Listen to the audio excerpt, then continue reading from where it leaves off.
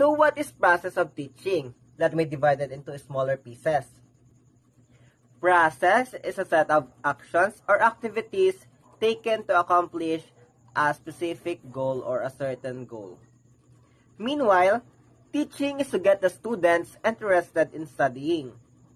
Therefore, teaching is primarily a process that involves planning, carrying it out, evaluating it, and making changes.